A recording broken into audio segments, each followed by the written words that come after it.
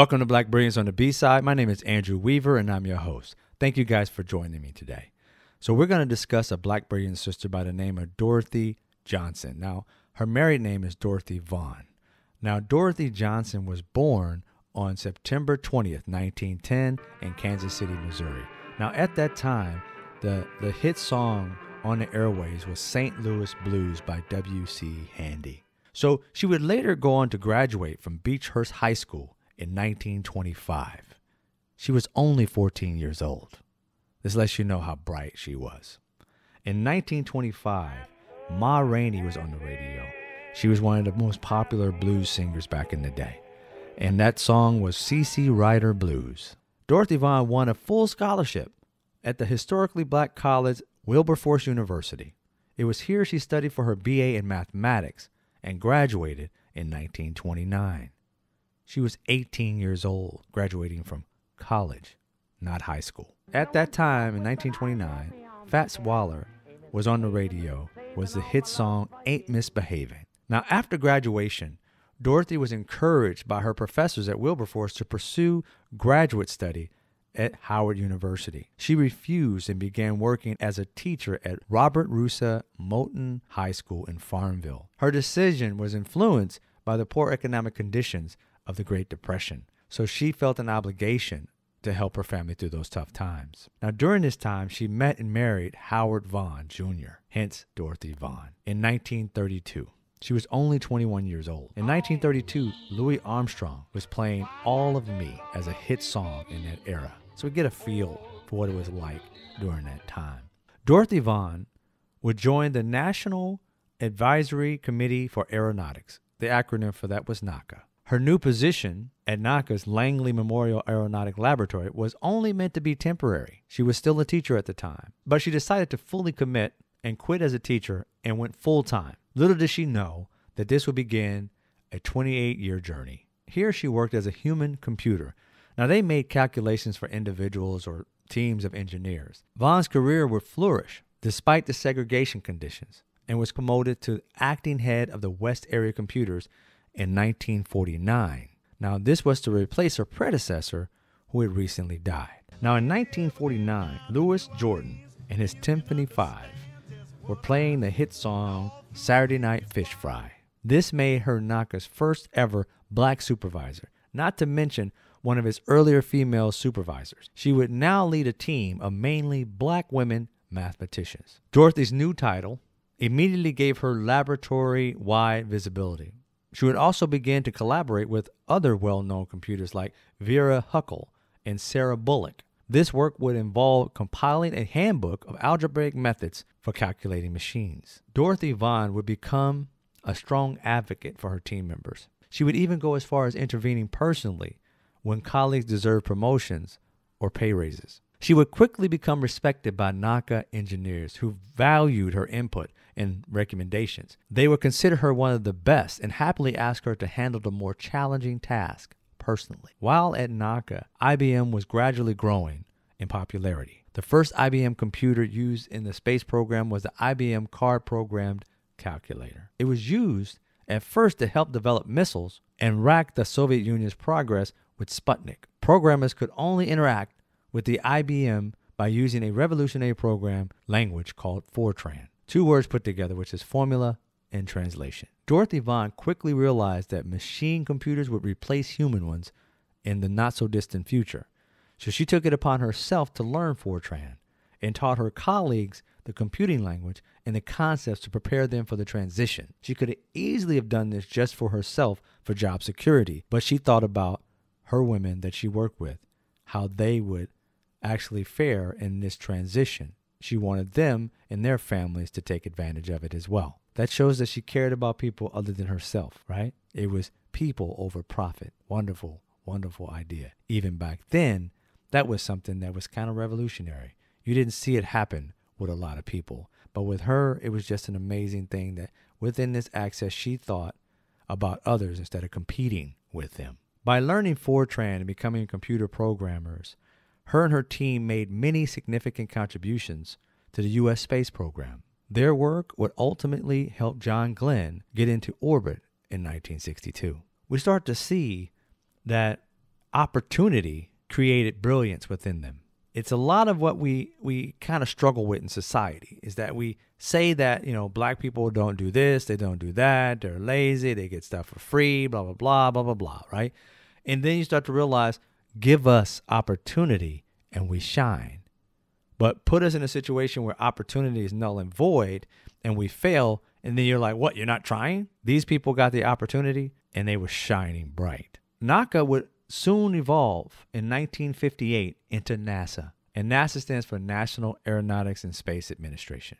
Now, in 1958, the hit song Twilight Time by the Platters was playing over the airwaves. Dorothy and her team would also contribute significantly to the Scout Launch Vehicle Program. SCOUT is an acronym.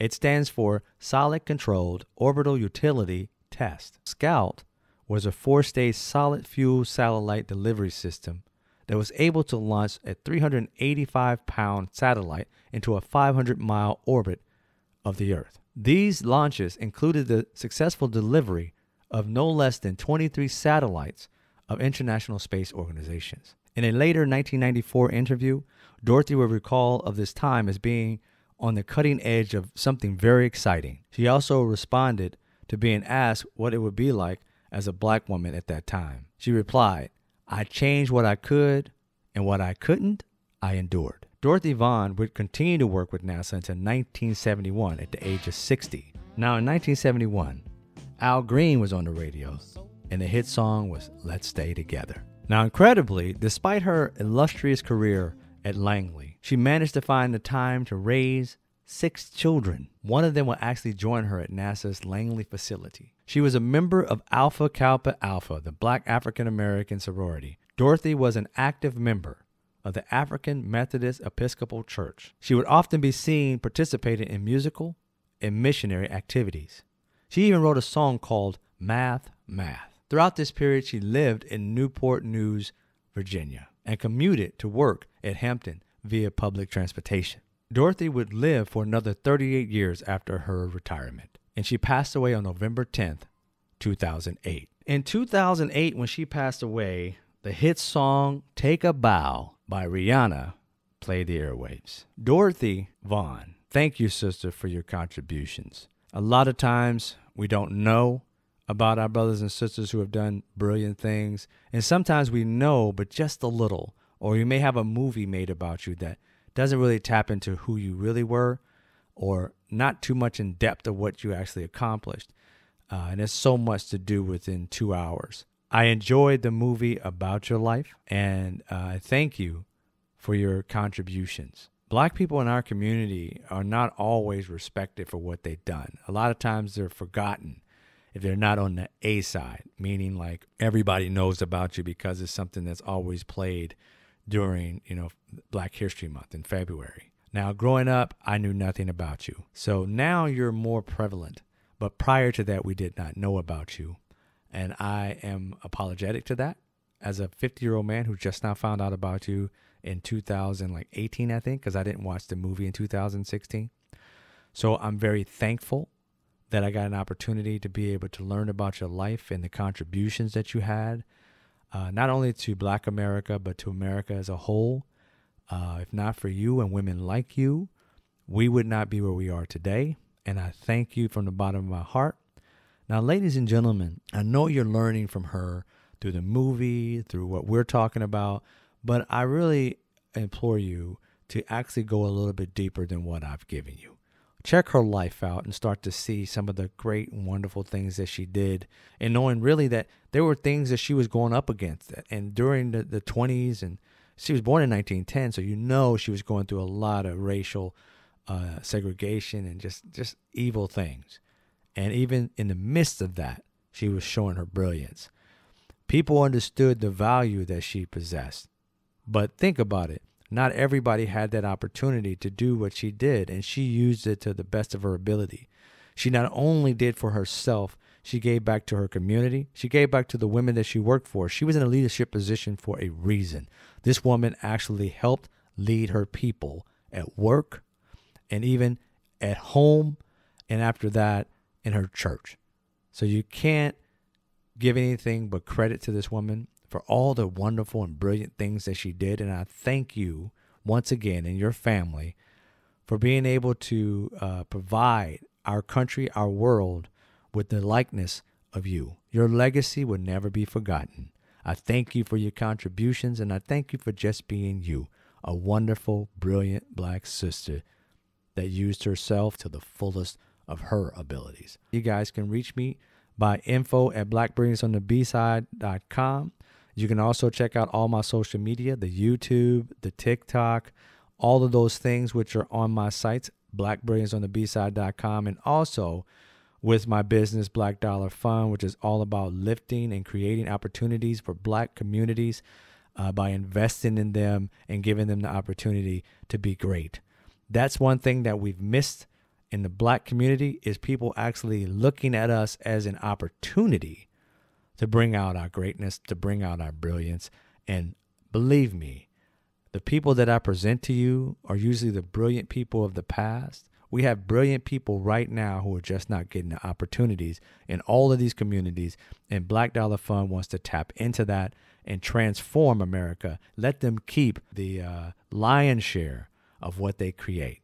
Because our brilliance, if you start to look at history, if we kept the patents, if we had ownership of our brilliance, we would be massively wealthy in this country. Wealth would not be an issue big time for black America. But because everything was pretty much stolen or paid cheaply, we still suffer that particular issue. So let's transform that.